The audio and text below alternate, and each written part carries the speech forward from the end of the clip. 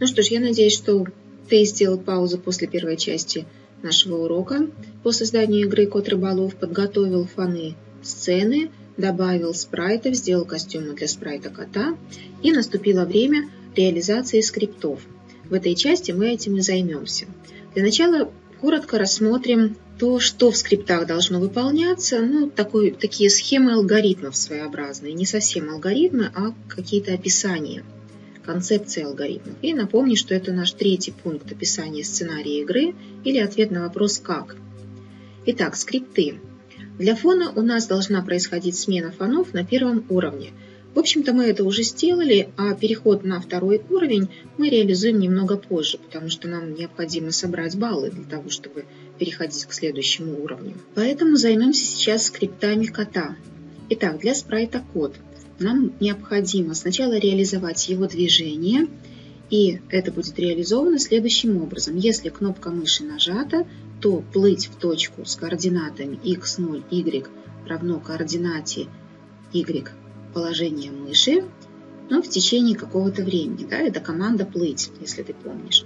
Иначе плыть в точку x0, y0, то есть в середину сцены.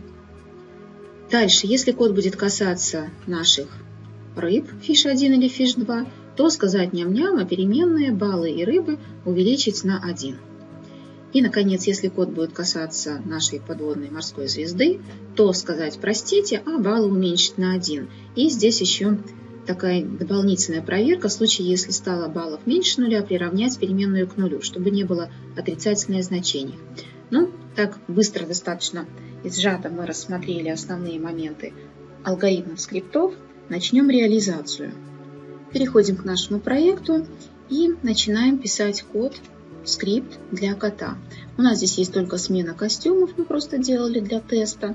Ну и чтобы ничего не забыть, мы можем подсматривать иногда пример нашего проекта. Ну а если примера под рукой нет, ты проектируешь свою собственную игру, то именно поэтому я тебе показываю, как описывать сценарий, потому что все удержать в голове иной раз не очень хорошо удается. И здесь я вижу, что когда мы в первой части урока заготавливали, проектировали все основные элементы, то мы не создали переменные баллы, звезды и рыбы. Давай сейчас сразу это сделаем, чтобы не забыть. Так, у нас будет переменные баллы, звезды, а, точнее лучше сначала рыбы, чтобы не переставлять, они по порядочку будут отображаться, и звезды. Вот так. Если не хочешь, чтобы они отображались, то можно оставить только баллы. Ну, мне показалось, что вполне нормально так смотрится. И мы видим, что в начале, когда мы щелкнем по флажку, у нас задаются начальные значения этих переменных, а еще задается начальное положение спрайта код в середине сцены x0, y0, и мы поворачиваем направление 90, чтобы он смотрел слева направо, всегда. Давай это сделаем. Итак, перейти в x0, y0, повернуть в направлении 90 и задать начальное значение переменных.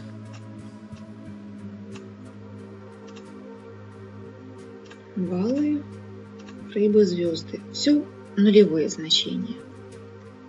Ну а теперь приступим к реализации движения нашего кота рыболова. Ну, во-первых, смену костюмов мы сделали, но здесь одна секунда это многовато, а 0,3 вполне хорошо. Это можно оставить. И дальше мы говорили, что если мы должны проверять, если левая кнопка мыши нажата, то код плывет вслед за мышью по вертикали.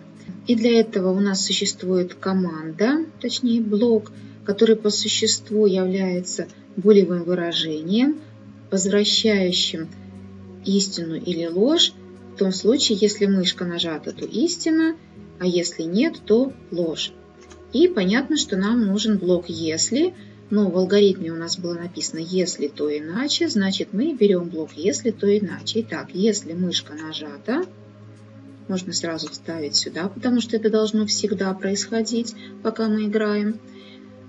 Если нажата, то плыть команда у нас плыть. в точку мы сказали x должно быть 0, то есть по горизонтали код никуда у нас не смещается, а по вертикали должен следовать за координатой мышки. И это тоже мы должны найти, точнее можем найти в группе команд сенсора. Почему? Потому что Scratch получает извне данные положения координаты мышки по x и по y. Нам нужна мышка по y. Поэтому сюда мы вставляем мышка по y. Ну а если не нажато, то в качестве альтернативы по сценарию за счет этого получается такое сложное движение подводное, мы будем возвращать, как будто он держится на воде, будем возвращать кота в точку 0,0, в середину сцены. Ну, давай проверим. Итак, тут у нас все идет, он лапами э, гребет. У меня не очень быстро это как-то происходит, по всей видимости, еще немножко интернет тормозит или компьютер. Но сейчас я нажму левую кнопочку мыши, и вот кот потихонечку начинает вслед за мышью перемещаться. Причем то количество секунд, которое здесь указано, одну секунду или больше, будет давать нам возможность сделать это движение более плавным, медленным или менее плавным. Давай подсмотрим, какой у нас здесь. Здесь у нас полсекунды, чтобы быстрее код э, добирался до своей добычи. Да? Давай так поставим. 0,5 секунд. Еще раз запустим. И, в принципе, мы не, не обязаны держать мышку вот прямо около кота. Мы можем в любом месте щелкать, держать левую кнопку мыши. И вот он так перемещается. Чем дольше мы держим указатель мыши на одном месте, тем быстрее он перемещается, потому что он старается попасть именно в координаты мыши. Вот он ее догоняет. Сделали. Отлично. Следующее, что нам нужно сделать, нужно сделать проверку касания котом рыб. Ну, пока они у нас размещены достаточно странно, но вот когда он сюда сместится, в принципе, мы можем рыб вот так вот разместить. Для теста можно их уменьшить, потом мы заставим их двигаться. Ну, а сейчас мы их просто специально словим.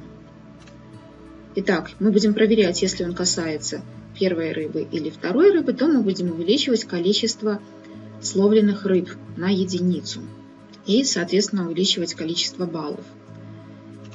Мы можем это сделать прямо здесь.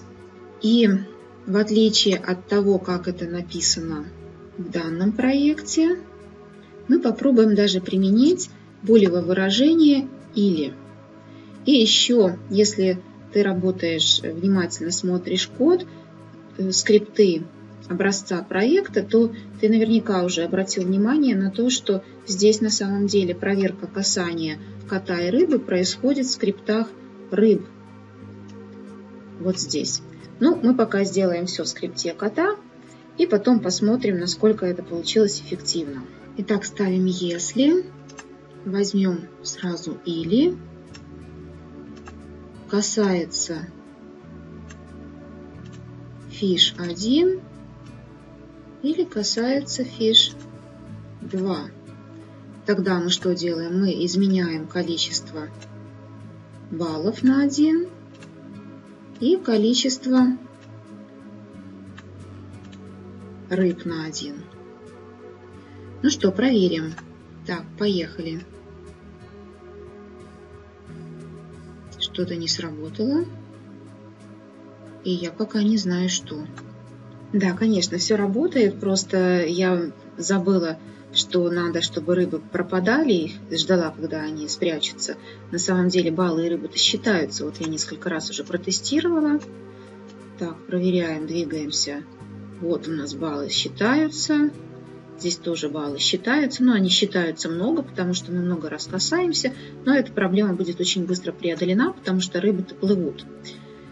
Что еще здесь я заметила? Заметила, что получается так, что кот у нас как бы под рыбами, а надо, чтобы он был над рыбами. И вспомним, что когда мы рассматривали координаты, работали с спрайтами, мы также делали перемещение по слоям. Это касается внешнего вида перейти в верхний слой. Вот видишь, я тоже вспоминаю, в какой группе команд это находится, и начинаю анализировать, что это относится к внешнему виду, к тому, как э, спрайт э, выглядит. Соответственно, вот мы можем поставить его верхний слой. И, наверное, мы это сделаем прямо в цикле, потому что может так оказаться, что это надо делать именно так. Ну, проверим. Вот, действительно, ход сверху. Ну и здесь тоже. Все замечательно. Так, отлично. Это мы сделали, и конструкция или логическая, или у нас тоже хорошо себя зарекомендовала. Все работает. Еще что должен сделать код? Он еще должен сказать ням-ням. Мы будем использовать говорить ням-ням. Вот, мы это сделали. Дальше аналогично мы должны проверить касание котом звезды.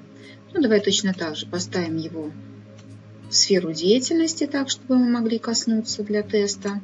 И добавим конструкцию «если то». Если он касается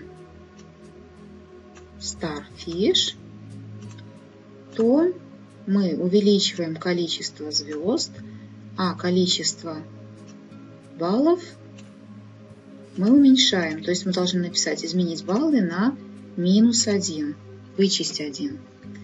Ну и если ты придумал другое количество очков, допустим, при съедании рыб там прибавляешь 10, а при сталкивании звезд вычитаешь 1, то все хорошо. Но на всякий случай внутри этой конструкции ветвления мы сделаем еще одну проверку.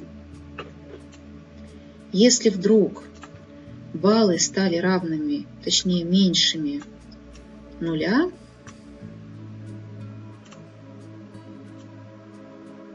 может так оказалось вдруг по неизвестным причинам мы столько звезд сталкивали, ни одной рыбы не словили.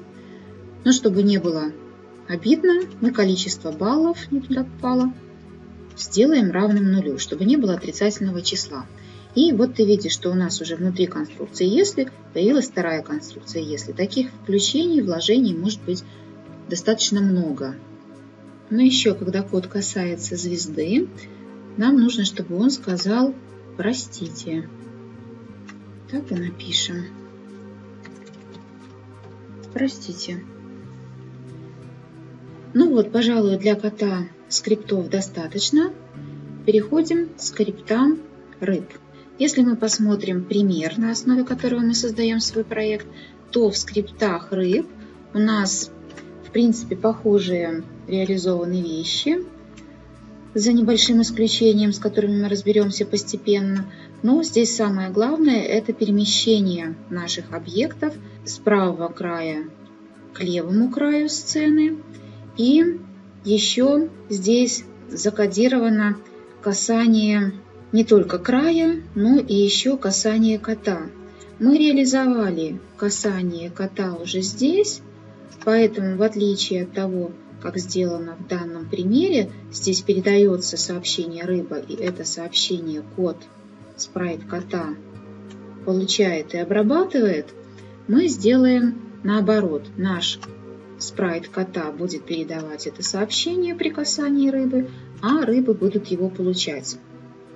Но сначала, еще раз повторю, нам нужно сделать что? Нужно реализовать движение наших рыб. Итак, Первое, что мы должны сделать? Вот подсмотрим. Первое, нам нужно спрятаться, да, потому что сначала не видно никаких рыб. Подождать, посмотрим насчет этого ждать. А потом задать начальное положение, причем вот как оно интересно задается. И установить размер. Размер 25%, подсмотрели, мы так и сделаем.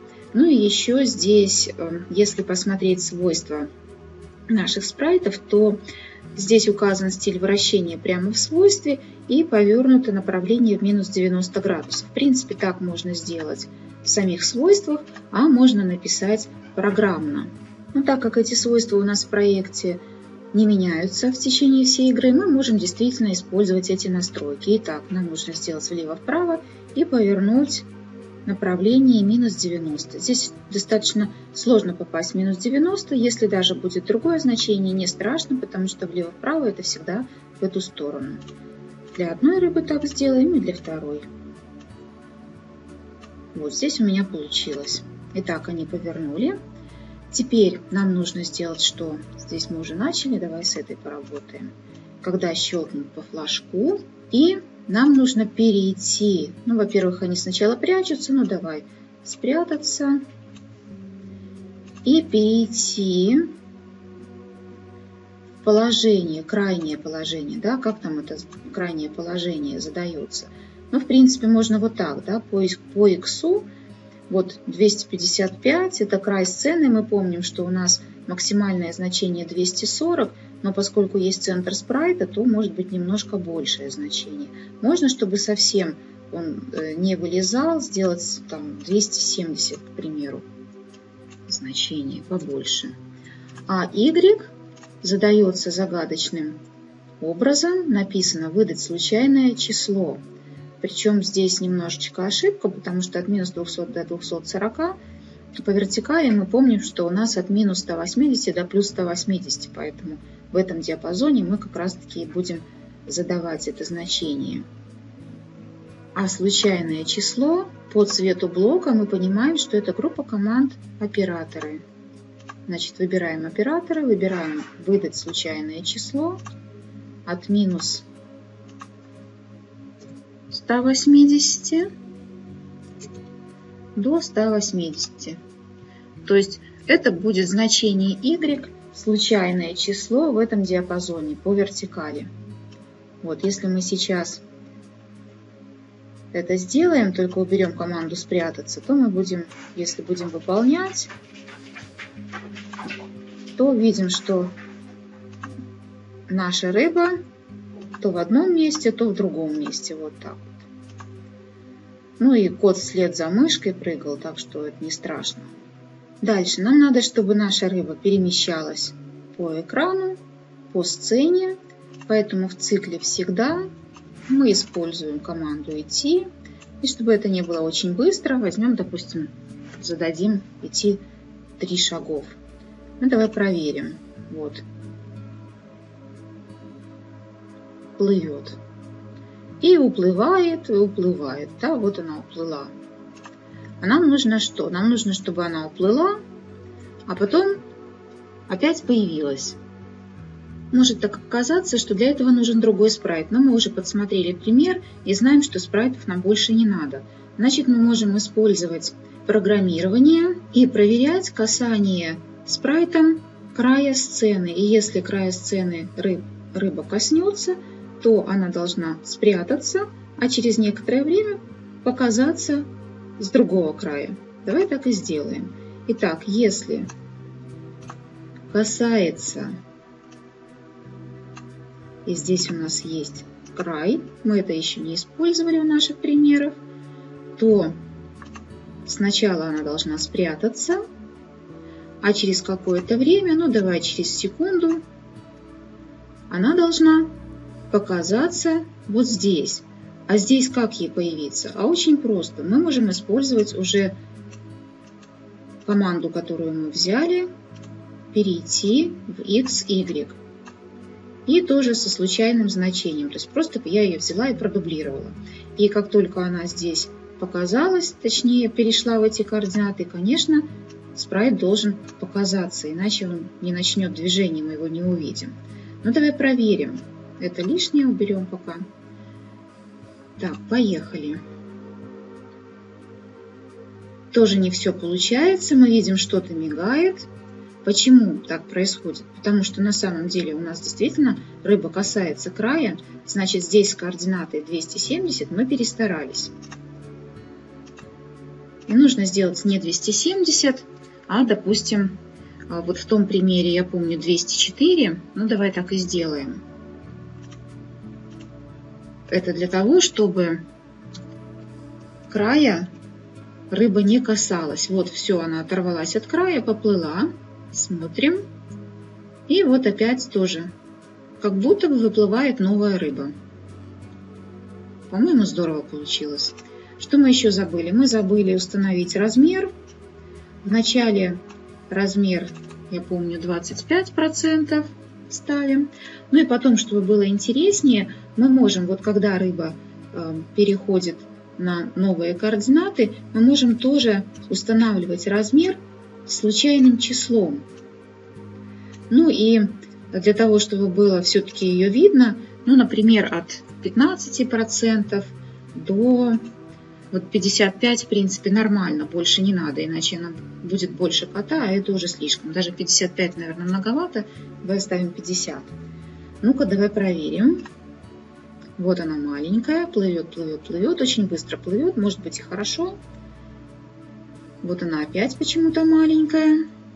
Это нормально, потому что число случайное. Вот она чуть-чуть побольше. И в принципе кажется, что это плывут разные рыбы. Я не буду писать скрипт для второй рыбы, потому что, во-первых, его можно продублировать, но тоже торопиться не надо. Ты это сможешь сделать самостоятельно. А, сделать нужно еще что? Еще нужно обработать касание звезды. И самое главное, что сделать, если кот касается рыбы, то рыба должна пропасть, потому что кот фактически ее съел. Давай так и сделаем. Значит, когда кот касается рыбы, где у нас это вот здесь, мы должны передать сообщение о том, что он рыбу съел. Так и напишем рыба. Окей. Теперь, если рыба получает это сообщение, то можно быстро сделать спрятаться. Да? Ну, давай проверим. Оп, все, съели, ням-ням. Ну, вот сейчас опять, а я и не успела. Вот, ну, получилось. Я перетащила просто рыбу поближе. Здесь, простите, и мы застряли. Но это ты, еще раз повторю, сделаешь позже. Вот рыба пропадает. Но пропадает она каким-то странным образом и двигается. И я не обратила внимания, как считаются баллы. Давай сначала начнем. Так, управлять сложно. Не страшно, сейчас разберемся. Так, вот, ням-ням один, нормально, один балл, хорошо, все получилось. Так, но а, плохо то, что она быстро пропадает, а хотелось бы, чтобы это было как-то постепенно. Чтобы это происходило постепенно, мы можем сделать цикл и не прятаться, а сделаем изменение графического эффекта, который называется призрак. И вот при изменении значения этого графического эффекта рыба будет постепенно исчезать. Чтобы разобраться с этим графическим эффектом, мы можем подсмотреть. Здесь вот мы изменяем на 5, поменьше шаг, и в самом начале мы устанавливаем значение этого эффекта в 0. То есть, когда значение эффекта призрак 0, тогда спрайт виден на сцене. Когда это значение увеличивается, тогда постепенно тает, пропадает. Ну, мы пока оставим, давай шаг сделаем не 25, к примеру, а 10. И вначале сделаем установить эффект призрак в 0.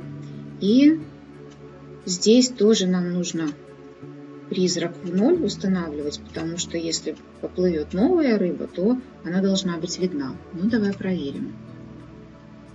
Так, там было неудобно. Вот, она так постепенно пропала, да, как будто растаяла, пока он ее ням-нямал. Вот, раз и пропала. По-моему, получилось очень хорошо, но достаточно быстро. Можно действительно э, вспомнить, что там у нас 20 итераций в цикле и меняется значение на 5. Тогда поплавнее будет пропадать. Не попала я, не словила рыбу. Плохой игрок. Рыбка маленькая. Ну вот она раз и пропала. В общем-то не, неплохо. Так, ну и, наверное, я тебе дам задание посмотреть, как обрабатывается касание, как вообще появляется звезда очень похожим образом – но когда звезда касается кота или кот звезды, еще анимируется, она не пропадает, она как бы падает вниз. Посмотри, где она появляется, на каком э, месте. Ну, в принципе, очень похоже на то, как реализованы рыбы. А на этом я эту часть урока, наверное, завершу. Единственное, что я не сделала, это переход на следующий уровень. У нас же фонов 4 и уровень 2 у нас должен быть. Для того, чтобы это сделать, нам, мы можем прямо здесь, в скрипте сцены, поставить проверку. Если количество баллов стало больше 5 или 6, ну ты можешь задать любое другое число, э, я поставлю, например, 2 для теста, чтобы мы могли сейчас проверить. Конечно, число должно быть больше. То тогда мы должны сменить фон на уровень 2. Ну, давай проверим. Словить две рыбы надо нам. Раз, одну съели. Баллов у нас один. И вторую.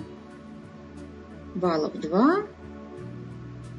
Да, третью, потому что больше двух. Третью съели. И что-то ничего не произошло. Почему?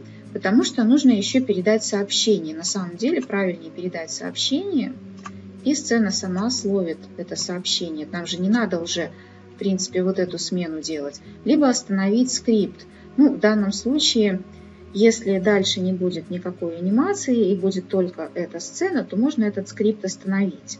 Если у нас будут другие еще локации, новые фоны, то тогда нужно будет передать сообщение. Ну, давай лучше передадим сообщение. Уровень 2. И вот когда сцена получит сообщение уровень 2, тогда и сменится фон. Ну, давай здесь поставим не больше двух, а больше одного. Пусть у нас словится две рыбы для теста, еще раз повторю. Так, одну рыбу съели. И я и вторую рыбу я словлю. Нет, не успела, застряли. Вот вторая рыба. Застряли. Под водой все сложно. Баллы видел, был минус один. Так, что-то у меня не происходит ничего.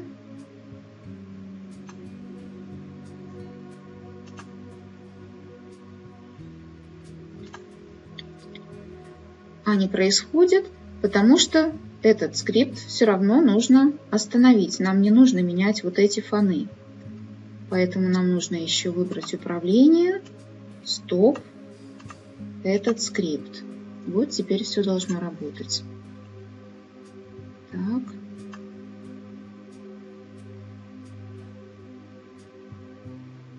Не получилось ловить рыбу, звезда мешает, нужно ее сместить.